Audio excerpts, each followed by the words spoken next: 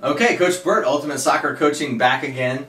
And today we're going to talk about some uh, possession activities and some things that, that I like to do uh, to kind of help our team uh, be better at moving the ball around, playing quicker, and also utilize some passing combinations.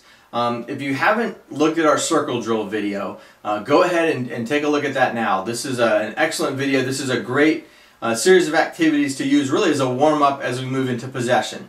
Not only does it get the players moving and passing, it also works one-two passing combinations and third man runs. So something you want to look at because we're going to utilize some of those same skills uh, in this next activity. So it makes for a great progression from a dynamic warm-up to the circle drills and then into this uh, particular possession activity. So what we're going to do is we're going to do a, a 5v5 uh, v5 type activity. So we're going to have, uh, let's say, a red team made up of five players uh, throw one more. Um, you have maybe a blue team, and it just on whatever color pennies you have. So we'll say a blue team. And then we'll have a, a yellow team. So we'll get everybody on the board here. Okay. And you really don't need a neutral player for this. Um, you can do that just with the 5v5v5. So couple of different ways to do this. Um, what one of the things we like to do is just to start out with a very simple game where two teams play. Um, they have the ball. Five players defend. So you start out. Okay, blue and red begin with the ball, and they're going to play possession. I put them on two touch um, if they're you know able to handle that. You can put them on three touch if maybe they're like a U11, U10 team. They're not quite ready for for two, um, but we recommend you know try to get to two as soon as possible. And if you really want to challenge the players, put them on a single touch, put them on one touch. Um, bear in mind when you do one touch that it's going to be much more physically demanding. The players, I mean, the, the movement, the support that's required in one touch is uh, much, much more than playing a two touch game. But they have a two to one advantage uh, attackers versus defenders. They're going to be playing 10 versus 5, which is really an ideal opportunity to work on one touch uh, passing. So we'll start out red and blue with the ball. They're going to play against yellow as soon as yellow wins the ball, uh, whichever team was responsible for the loss. So if, if red makes a bad pass, yellow intercepts. Now red becomes the defending team, and we have the blue and the yellow team playing against red. And you can play this, you know, for five minutes, seven minutes, however long you want to do it. Um, you can you can work that activity.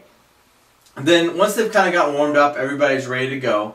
Then we can go into a, a, series where we're sort of keeping score. And again, it's, it's important, and we've talked about this before, to add a competitive element to as many of the activities as you possibly can.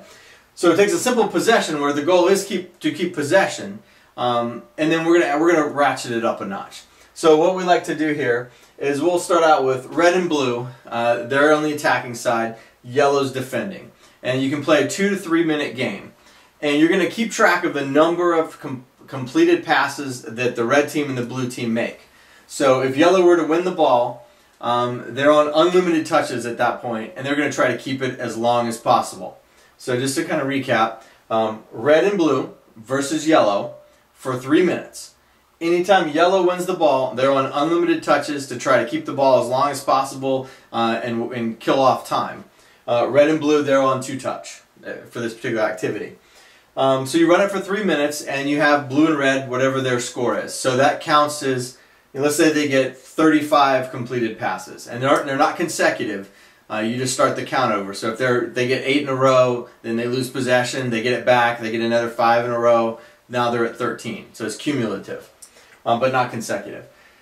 Um, so yellow would have 35 again, against them. Then you would take blue team, blue would defend, and you would have red and yellow play against blue. And you'd go for the same two to three minutes. Um, and then you'd have, you know, let's say 40 passes uh, completed against blue. And then you bring the red in, and they would play for three minutes on defense, while uh, blue and yellow are the attacking teams, and you know they give up, you know, say 28 passes. They did a really good job.